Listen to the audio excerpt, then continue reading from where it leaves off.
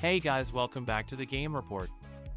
I hope everyone is having a fantastic day, because in today's show we are covering Nicolas Cage may soon appear in a very popular horror game. Take Two Interactive is delaying games, and the new Zelda game has broke selling records. All of that and more, here in Gameplay X4.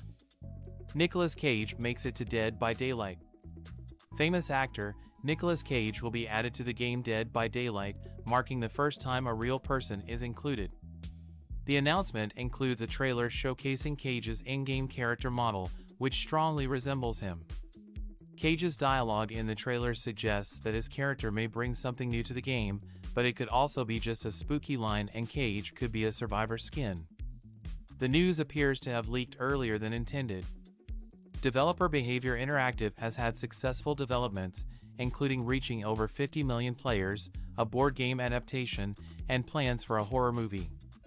However, there was a recent misstep with a healing system that received negative feedback and was swiftly removed. Despite this, players enjoyed a surprisingly good Dead by Daylight dating sim. It remains to be seen if a Nicolas Cage DLC will be added, prompting speculation about its possibility and reasons if it doesn't happen. So, are you guys excited at the mere chance of Nicolas Cage joining Dead by Daylight? Let us know down below. Moving on, Take-Two cancels and delays upcoming video games titles. Take-Two has canceled undisclosed games and postponed others due to a challenging consumer environment, citing extended development timelines and the pursuit of high creative standards. They expect a $54.2 million impairment charge for canceled and unreleased titles. Delays and cancellations are common in the gaming industry, affecting titles like Starfield and Suicide Squad. Take-Two CEO, Strauss Zelnick, attributed the delays to consumer demand for quality and mentioned productivity challenges. Quote, the best possible way to look at it is that we're all seeking quality and consumers are demanding quality and sometimes that can take longer than expected, Zelnick said. And another way to look at it is that we're having some productivity challenges. I think people here would say it's not all about productivity, it's about seeking excellence. I think the truth is probably somewhere in the middle.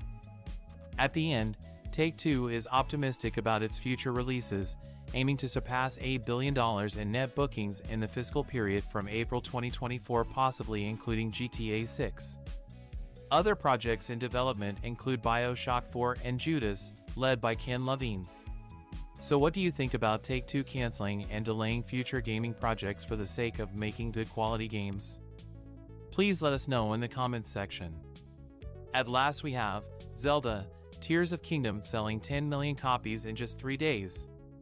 The Legend of Zelda Tears of the Kingdom sold an impressive 10 million copies within its first three days, setting a record as the fastest selling game in the Legend of Zelda series. It also became the fastest selling Nintendo Switch game in the Americas and the fastest selling Nintendo title in the region across all systems. These early sales contributed to the overall success of the Zelda franchise, which had already sold 130 million units as of March this year. Nintendo expressed gratitude towards fans for their continued support and excitement, emphasizing the strong momentum for both the franchise and the Nintendo Switch console. Quote, Many players are returning to Hyrule with all its new mysteries and possibilities, and with the record-breaking launch of The Legend of Zelda, Tears of the Kingdom for Nintendo Switch, we can't wait to see what they'll create in the game and the stories they'll share next, said Nintendo of America's Executive Vice President of Sales, Marketing and Communications Devon Pritchard. So that's all we have for today guys, make sure to subscribe to our channel and you can also check us out in our social medias which are down in the description box, and like always, See you guys until next time.